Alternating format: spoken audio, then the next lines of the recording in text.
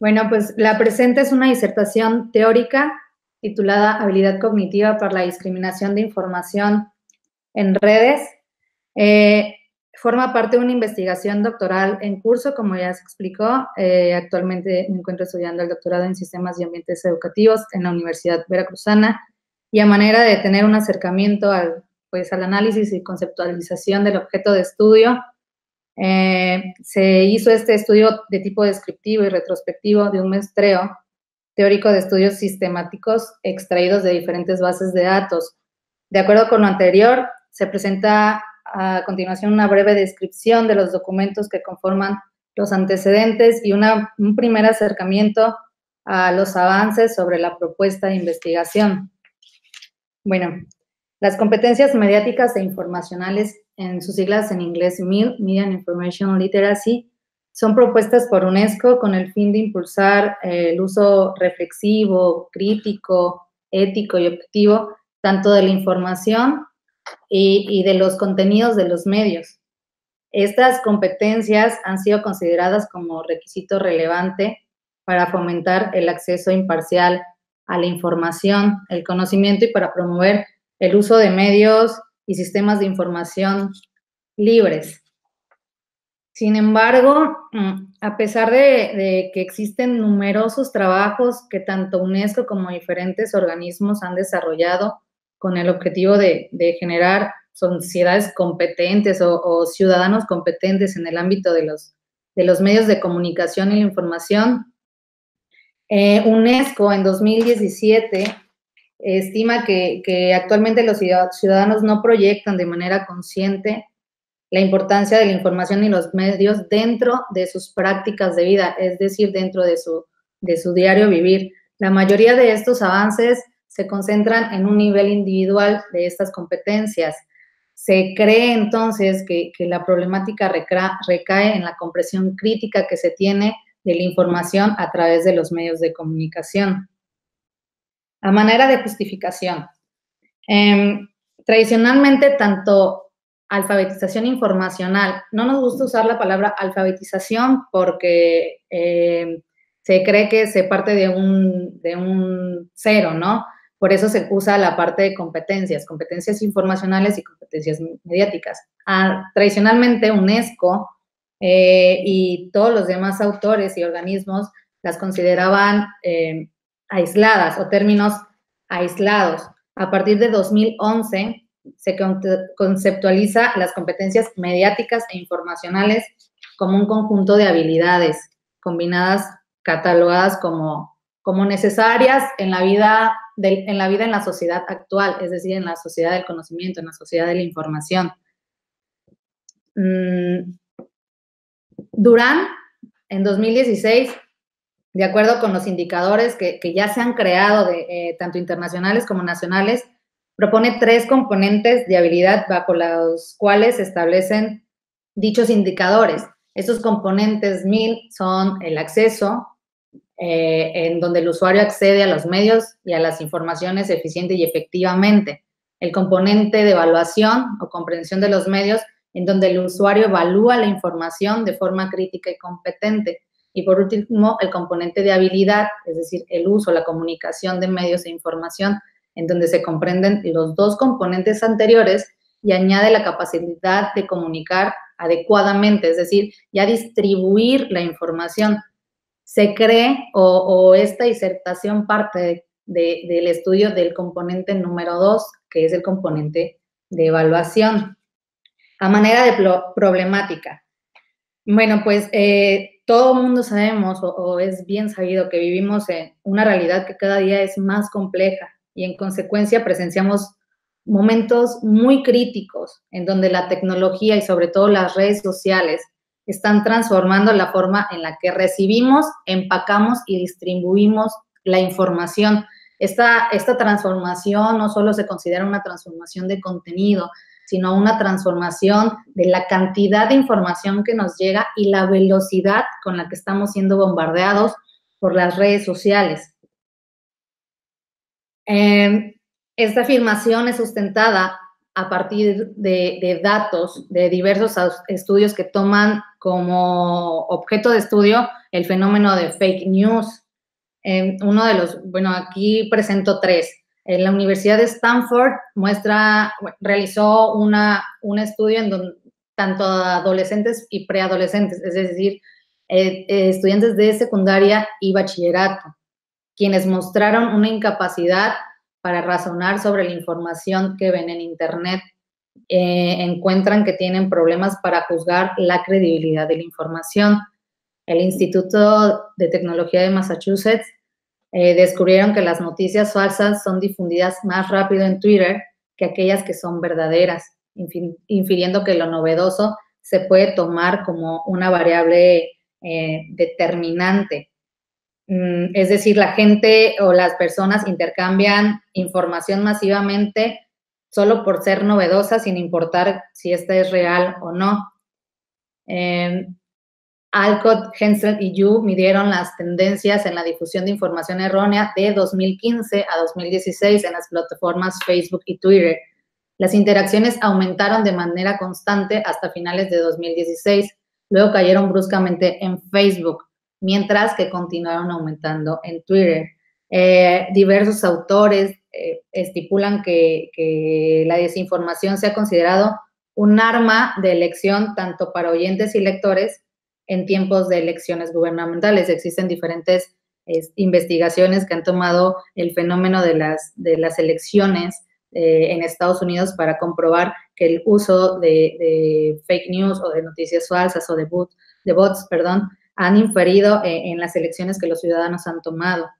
Eh, otros autores consideran que las redes sociales son un arma de doble filo, así, así las catalogan, ya que permiten la difusión amplia y rápida de noticias falsas y que se está convirtiendo en una problemática con grandes resultados negativos. Em, otros eh, investigadores realizan una categorización de, las noticias en redes sociales. Esta categorización se establece como noticias intencionalmente objetivas, errores voluntarios, involuntarios, perdón, en noticias y aquellas noticias intencionalmente falsas. Estipulan que, que estas últimas son las que más se han generado en los últimos años. Se cree entonces que, de ser o de seguir esta tendencia, la mayoría de los ciudadanos no usarán su sentido crítico ante situaciones primordiales para su comunidad, su institución, su contexto. Y las redes sociales se convertirán en, el medio por el cual se tomen decisiones importantes y estas, por tanto, no se harán de forma razonada, sino basadas en emociones. Eh, la sociedad, por tanto, debe crear las condiciones necesarias para que sus ciudadanos sean competentes, eh, se beneficien y contribuyan en la construcción de conocimiento. En esta línea es indiscutible plantearse el papel de los ciudadanos y su pensamiento crítico en la habilidad cognitiva, así como repensar o pensar en la tecnología y su uso para coadyuvar a la discriminación de información en las redes. El objetivo de, esta disertación es proponer un estudio teórico conceptual del componente discriminación de la información con base en la gradiente del conocimiento. Se espera que el día de mañana o, se sistematicen estudios para identificar recursos didácticos adecuados para el mejoramiento de esta habilidad. Identificar también un conjunto de habilidades ligadas tanto a la educación como al pensamiento crítico proponer el desarrollo de estrategias que fomenten el pensamiento crítico a través del uso de la tecnología. Y por último, pues, y lo más ideal es conformar una cultura de la información en redes. Eh, las competencias mediáticas e informacionales, su definición conceptual dada por UNESCO es la capacidad del ciudadano para rescatar, seleccionar, analizar, evaluar, usar, generar y compartir información y contenidos de los medios en todas sus formas a partir de diferentes instrumentos, pero de manera reflexiva, ética y objetivamente. Y de esta manera, que los ciudadanos participen activamente en prácticas personales, profesionales o sociales que demande su comunidad. Ah, dichas habilidades o dichas competencias, por la importancia que las permea, se han sido estudiadas en distintos contextos, social, político, educativo, cultural, entre otros, para fines de, esta disertación nos vamos a centrar en la aplicación de, la, de MIL o de las competencias mediáticas e informacionales en el contexto educativo. Dentro de este contexto, diversos autores y organismos han, han generado marcos para, para la evaluación, para la implementación de las competencias mediáticas e informacionales. Estos marcos se, se, regulan o, o, se mantienen dirigidos tanto académicos, bibliotecarios, eh, estudiantes, o hay algunos, el último, por ejemplo, de Ken Singer en, en 2018, habla sobre las competencias informacionales en correlación con competencias para la investigación. También eh, muchos otros eh, autores han tratado de establecer una metodología para la evaluación de dichas competencias o para el establecimiento de currículums para la capacitación y formación de, docentes.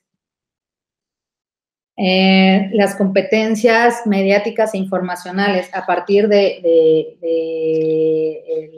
análisis de diferentes marcos y, de diferentes aportaciones, tanto de organismos y autores, se dimensionan en información, en la, en, la dimensión digital y la dimensión mediática.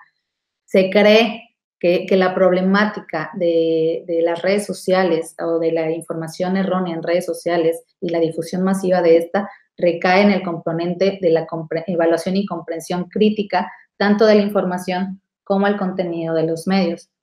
Eh, dicha, dicho componente ha sido definido como la evaluación crítica de la información consultada y los recursos empleados, como habilidades técnicas y cognitivas para leer, comprender y medir los contenidos mediáticos, habilidades y competencias que posibilitan la evaluación y clasificación de información, habilidades que permiten la clasificación y tipologías de la información, la capacidad real sobre el procesamiento de la información, elementos para la comprensión y evaluación crítica de todas aquellas eh, competencias que posibiliten el conocimiento y por último, como un conjunto de saberes que permiten el análisis y evaluación de textos y, contenidos. Se considera que la problemática recae en la discriminación o, la diferenciación actual acerca de la desinformación eh, que existe en redes sociales, ¿no? La discriminación de información dentro, dentro de las redes. Por tanto, nosotros eh, este, tomamos como la variable a medir o la variable de estudio y por la cual se, están generando tanto su eh, definición operacional como su definición teórica, porque son muy pocos estudios que, se centran en esta, en, esta terminología. Se trata entonces también de, proponer el estudio de, de habilidades blandas para potencializar las competencias mediáticas e informacionales. Eh, esta variable se ha operacionalizado como mm, la comprensión, eh, bueno, la, capacidad del ciudadano o del estudiante de elegir efectivamente información a partir de, un proceso eh, o como resultado de un proceso intencional y adecuado de toma de decisiones que tome en cuenta el contexto de la información y la estructura cognitiva del sujeto. Dada la importancia de contar con un fundamento teórico para el estudio y la propuesta del componente de discriminación de la información, se toma como base el análisis realizado por Edel, García y Abascal sobre aquellas teorías referentes a, las jerarquías del aprendizaje u organización del conocimiento. Eh, se, se cree que, la problemática recae en que no existe una organización de la información que el usuario ve en las redes sociales, por lo tanto, se toma en cuenta este modelo o esta clasificación de la gradiente del conocimiento. Eh, de acuerdo, se toma a la teoría del aprendizaje de, de donde el autor estipula que es primordial iniciar con tareas sencillas para tener una continuidad secuencial y la categorización reduciría la complejidad del entorno del organismo. También eh, la teoría de aprendizaje significativo de Oswell y, colaboradores a partir de una clasificación de las variables del aprendizaje.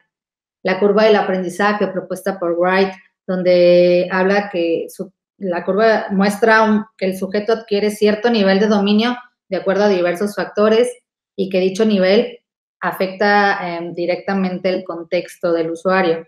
Eh, la teoría de comunicación o el modelo de comunicación, perdón, propuesto por Verlo, en donde establece que el nivel de dominio como una razón por la cual la veracidad de la comunicación puede ser alterada. Y por último, eh, la tecnología de estudio de Hudbach, perdón, en la cual considera la que la ausencia de masa y la gradiente excesiva y la palabra malentendida como barreras de estudio para conocer eh, la capacidad o para comprender la capacidad de estudiar y aprender aumentará en gran medida si se pueden eh, moldear o controlar dichas, dichas condiciones.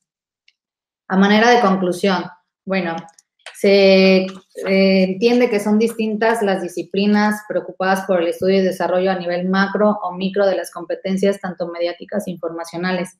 Sin embargo, a pesar de todos los esfuerzos, se enfocan en el desarrollo, el desarrollo de dichas competencias eh, de manera formal, es decir, se le da un manual de estándares, indicadores a, los estudiantes o a los, a los docentes para enseñar a discriminar, eh, bueno, a, discriminar información real en, en los medios. Lo que nosotros pretendemos hacer es elevar ese nivel de pensamiento crítico y cuando en nuestra realidad los jóvenes o, nosotros como adultos nos encontremos en un autobús, en el metro, en, eh, la calle y veamos una noticia falsa, eh, nos tomemos al menos un minuto, nos paremos y, repensemos en compartirla o no. Eh, es por eso que los avances demuestran un impacto, sí, un impacto, pero académico, formal, más allá de la aplicación real de estas competencias. Es pertinente que las personas desarrollen una nueva forma de vida, es decir, es importante que, que existan más colaboraciones para establecer una cultura informativa de la información en las redes y el desarrollo de estudios alternos MIL, fomentando habilidades blandas y se cree que para combatir la problemática de noticias falsas en redes, los ciudadanos necesitan contar con cierto nivel de pensamiento crítico que les ayude a evaluar y tomar decisiones adecuadas ante la información que se le presenta. Eh, se propone entonces, a manera de epílogo, eh, el estudio de este componente de discriminación de información eh, de, en las redes a partir de los estándares de pensamiento crítico y con base en la gradiente de la información. Como pensamiento crítico se, toma como aquel pensamiento reflexivo que a partir de un análisis detallado de los argumentos explora y evidencia válida y, y valida conclusiones fundamentadas. Muchos otros autores eh, toman pensamiento crítico como explorar una situación o una problemática con el fin de elaborar una hipótesis o llegar a una conclusión. Nosotros queremos, más allá de, llegar a una hipótesis o conclusión, que la toma de decisión de los estudiantes sea eh, de manera efectiva o de los ciudadanos en, formación alguna. Eh, por ello, se, se propone o se desea priorizar el componente discriminación de la información para que las competencias mediáticas e informacionales sean difundidas e implementadas mediante la estructuración de este modelo basado en los indicadores de pensamiento crítico, en donde se establezca como punto, central a la discriminación o evaluación de la información crítica como variable detonadora de una cultura de la información en redes sociales. Y eso es todo por mi parte. Muchas gracias. Muchas gracias, Marina. Eh, tenemos algunos comentarios en el canal de Telegram. Dice Rick Zapador. ¿Solo la novedad o qué otras variables pueden contribuir a la viralización de las fake news? Bueno, eh, diferentes estudios toman como, como variable, como, factor predominante a lo novedoso. Sin embargo, este, se cree, otros estudios establecen que mm, tanto partidos sociales o diferentes medios de comunicación tienen eh, pues objetivos reales, ¿no? De difundir información eh, errónea en redes sociales y que las personas crean en dicha, dichas eh, fake news. Ok, muchas gracias. menciona el mismo participante, Rick, incluso se ha utilizado información obtenida a través de cuestionarios que parecen inofensivos para fines políticos, ¿no? Estaba de acuerdo con las afirmaciones. Dice Zaira, ¿cómo creas habilidades de pensamiento crítico? Bueno, se están tomando como las habilidades, apenas se está haciendo la reconfiguración de, algunas herramientas para, para fomentar esta discriminación de información a partir del pensamiento crítico y lo que se ha, encontrado hasta el momento, que, concuerdan muchos eh, autores, es el análisis, la inferencia, la explicación, la interpretación, autorregulación y evaluación. Todo esto está dado, o sea, hay diferentes estrategias para, la implementación. Lo que se quiere crear en el doctorado es una herramienta digital eh, que puedan ser usados por estudiantes de bachillerato y estudiantes de, estudiantes de universidad a partir de, estas, de, estas habilidades cognitivas de pensamiento crítico para fomentar la, eh, esta habilidad blanda que es discriminar información en redes. Ok, muchas gracias. Eh, pregunta Enrique, ¿qué factor cree que sería el esencial para discriminar entonces una información falsa? Pues la... ¿Cómo? O sea, ¿qué habilidad? Pues la habilidad que estábamos desarrollando sobre discriminación de información. Esta habilidad como tal, dentro de las competencias mediáticas e informacionales, las mil, no se ha desarrollado al 100. Eh, mil es como el paraguas, ¿no? De todas estas habilidades. Nosotros estamos tomando una partecita de mil para, para tener un desarrollo de, esta habilidad, como una destreza, como una capacidad de discriminar información, pero estamos eh, realizándolo, no, no priorizando un, un, paso, sino estableciendo una gradiente de, de discriminación de la información, es decir, desde lo más básico que es cuando te llega la información, hasta el nivel elevado de esta, de esta gradiente, que es evaluar o, pensar críticamente si lo que está frente a ti o en la pantalla es, es verdadero o falso y tomar al menos un, o pararte al menos un segundo para, para hacer este, para llevar a cabo esta gradiente y, y tomar la decisión de compartirla o no. Muchas gracias, Marina. Menciona Alejandro, una persona no sabe que una noticia es falsa de antemano excepto que cuente con información previa respecto al tema de que tratará la nota. Si bien ya han mencionado los componentes del pensamiento crítico, no me, no me queda claro cómo es que se entrena en el pensamiento crítico orientado a las noticias falsas, en donde el tiempo de exposición y decisión debe tomar algunos segundos. Sí, claro. Eh, actualmente se están haciendo eh, instrumentos de evaluación. Sé que o sabemos de antemano que es una, mm, un campo de estudio un poco, o sea, no medible, ¿no? Lo que se están tomando es eh, a partir de la operacionalización de las de la, del componente de discriminación de la información, se creó un instrumento de evaluación, no de percepción, porque aplicamos un instrumento de percepción y todos los estudiantes sabían discriminar información y no compartían eh, eh, información falsa y ellos eran muy buenos en, esta parte, ¿no? Sin embargo, eh, el instrumento, el cuestionario de evaluación, eh, les expusimos noticias falsas y les preguntamos si la consideraban importante compartirla o no.